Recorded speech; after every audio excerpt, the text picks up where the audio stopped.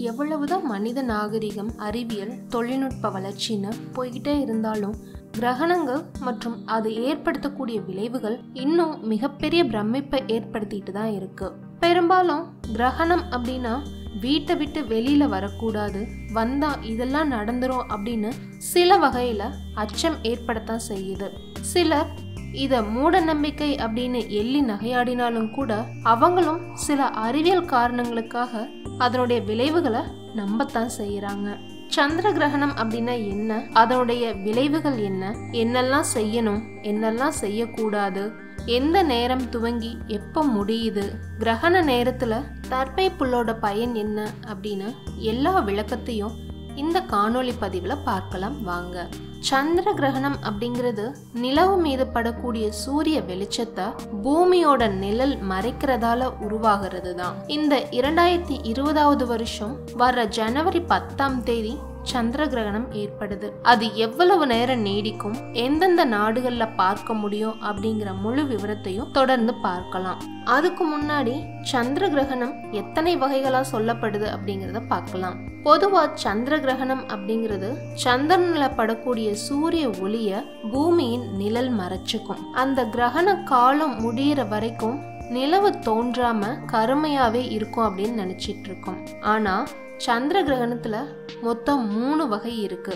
முழு சந்திர கிரகணம் பகுதி சந்திர கிரகணம் தெளிவற்ற சந்திர கிரகணம் அப்படின்னு மூணு வகையா சொல்லப்படுது. சரி இந்த வருஷம் ஜனவரி பத்தாம் தேதி தோன்றக்கூடிய முதல் சந்திர கிரகணம் எவ்வளவு நேரம் நீடிக்கும் அப்படின்னா ஜனவரி பத்தாம் தேதி இரவு பத்து மணி முப்பத்தி ஏழு நிமிஷத்துக்கு ஆரம்பிக்கக்கூடிய இந்த கிரகணம் கிட்டத்தட்ட ஜனவரி பதினோராம் தேதி அதிகாலை ரெண்டு மணி நாற்பத்தி ரெண்டு நிமிஷம் வரைக்கும் நீடிக்குது. இந்த நாலு மணி நேர இடைவெளிக்குள்ள தொண்ணூறு சதவிகித நிலவின் பரப்பு பூமியோட நிழலால மறைக்கப்பட்டு வெளிவட்ட பாதை மட்டும் நிழல் போல தோன்றும். அதனாலதான் இந்த வருடத்தினுடைய முதல் சந்திர கிரகணமான இது முழுமை இல்லாத தெளிவற்ற கிரகணமா இருக்கும். இந்த கிரகணம் எங்கெல்லாம் தெரியும் அப்படின்னு பார்க்கலாம்.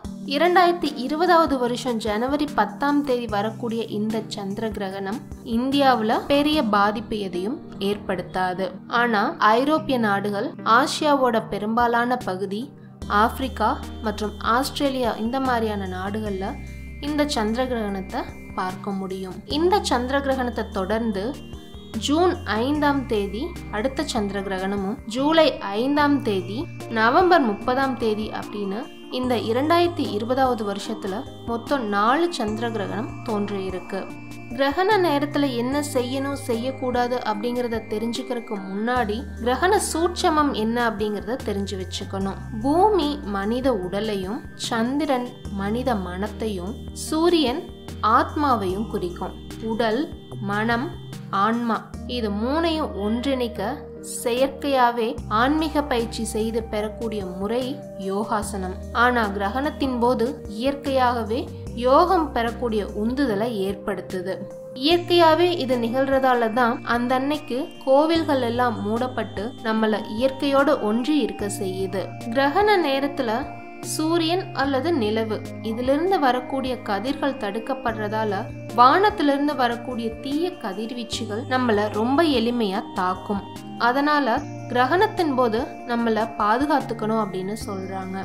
கிரகணத்தை ஆபத்தானதுன்னும் பாதுகாப்பற்றதும் அப்படின்னும் பயத்தோட பார்க்க வேண்டிய அவசியம் எதுவும் இல்லை.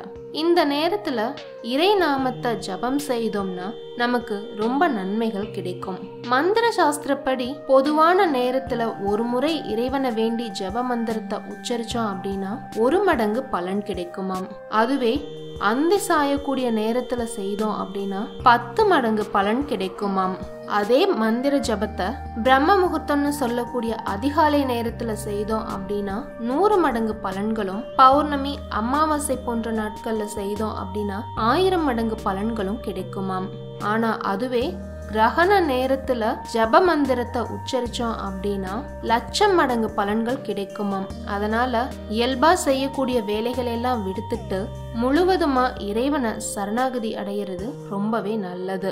சரி கிரகணத்தின் போது செய்யக்கூடாதது என்ன அப்படிங்கிறத பார்க்கலாம். கிரகணத்தின் போது சூரியன் அல்லது நிலவிலிருந்து வரக்கூடிய ஒளி கதிர்கள் தடுக்கப்படுறதால செயற்கையான இருட்டு ஒன்று ஏற்படுது. இதனால பூமியில இருக்கக்கூடிய தாவரம் விலங்கினம் இது எல்லாமே பாதிக்கப்படும். அதே போலதான் மனிதர்கள்லையும் நோய் எதிர்ப்பு சக்தி குறைவா இருக்கக்கூடியவங்கள இந்த கதிர்கள் தாக்கும். முக்கியமா குறிப்பிட்டு சொல்லணும் அப்படின்னா குழந்தைகள் முதியவர்கள் கர்ப்பிணி பெண்கள் இதய நோயாளிகள் ரத்த அழுத்தம் இருக்கவங்க கிரகண நேரத்துல வெளியில வரக்கூடாதுன்னு சொல்லப்படுது. ஏன்னா இவங்களுக்கு நோய் எதிர்ப்பு சக்தி ரொம்ப குறைவா இருக்கனால வானிலிருந்து நேரடியா வரக்கூடிய தீய கதிர்கள் இவங்களை தாக்கும் அப்படிங்கிறது தான் முக்கியமா கிரகண நேரத்துல உணவு சமைக்கிறதோ சாப்பிடுறதோ செய்யக்கூடாது. கிரகணத்தை நேரடியா பார்க்க கூடாது தாம்பத்தியம் வைக்க கூடாது இந்த நேரத்துல வீட்டோட எல்லா கதவு ஜன்னலையும் மூடி வச்சிருக்க வேண்டியது ரொம்ப அவசியம். அப்போதான் அந்த தீய கதிர்கள் வீட்டுக்குள்ள வராம தடுக்க முடியும். இந்த கிரகண நேரத்துல கர்ப்பிணி பெண்கள் வீட்டை விட்டு வெளியில வராம இருக்கிறது தான் ரொம்பவே நல்லது. முக்கியமா கிரகணம் நிகழும் அப்படின்னு சொல்லக்கூடிய நேரத்துல வெளியில வரவே கூடாது. வானத்துல நிகழக்கூடிய இந்த நிகழ்வை கர்ப்பிணி பெண்கள் வெற்று கண்களால கட்டாயம் பார்க்கவே கூடாது.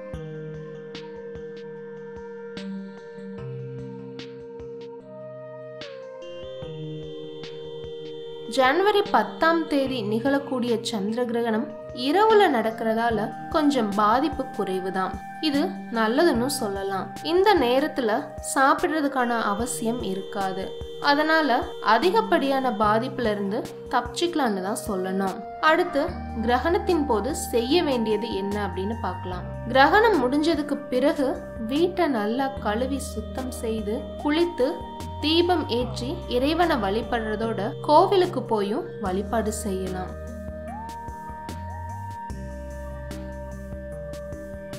கிரகண நேரம் ஆரம்பிக்கும் பொழுதும் முடிஞ்சதுக்கு அப்புறமும் குளிக்கணும். கிரகண நேரத்துக்கு குறைந்தபட்சம் ஒரு மணி நேரம் முன்பு அல்லது பின்பு தான் உணவு இருந்தணும் இந்த நேரத்துல ஜீரண சக்திக்கு வேலை கொடுக்கறத தவிர்த்திடணும். சூரிய கிரகணத்தை கண்களால பார்க்க கூடாது அதுக்கு மாற்று வழியா நீர்ல பிம்பம் விழுக வைத்து பார்க்கலாம். கண் கண்ணாடி அணிந்து பார்க்கறதையும் தவிர்க்கணும்.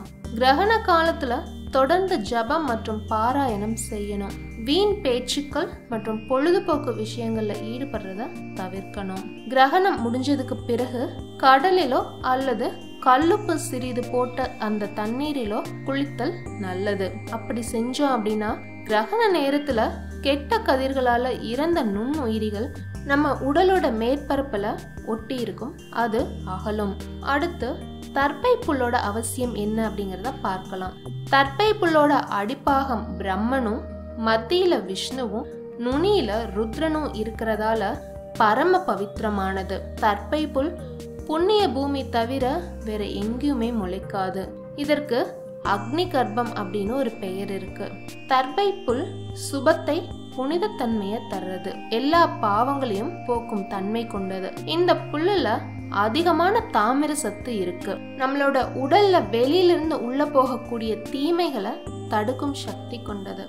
கிரகண காலத்திலையும் அமாவாசையிலையும் தர்ப்பை புல்லுக்கு வீரியம் அதிகம்.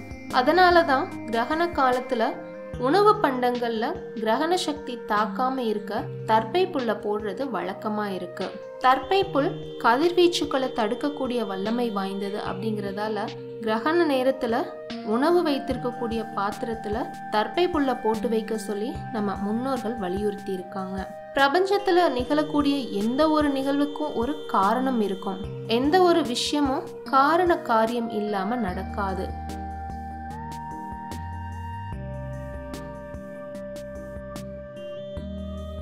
அதுபோல கிரகணம் அப்படிங்கிறது எதிர்காலத்துல உலகத்துல நடக்க இருக்கக்கூடிய சில சம்பவங்களை முன்கூட்டியே சொல்லக்கூடிய ஒரு நிகழ்வா கருதப்படுது. உலகத்தோட எந்த பகுதியில கிரகணம் ஏற்படுதோ அதுக்கு நேர் எதிர்பகுதியில் இயற்கை சீற்றம் ஏற்படும் அப்படிங்கிறது சாஸ்திரம்.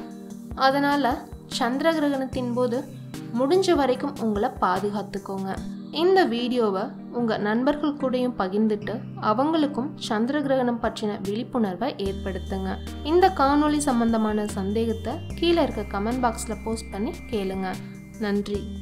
இந்த வீடியோ உங்களுக்கு பிடிச்சிருந்தா லைக் பண்ணுங்க. மறக்காம சப்ஸ்கிரைப் பட்டனை அழுத்துங்க. Subscribe subscribe subscribe